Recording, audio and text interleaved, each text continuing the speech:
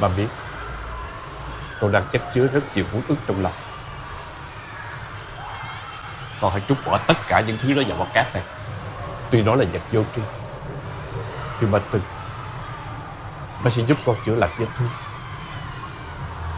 Thử đi con. Cầm đấy Con cứ thử đi.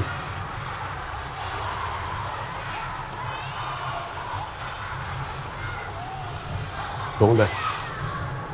Cố lên con.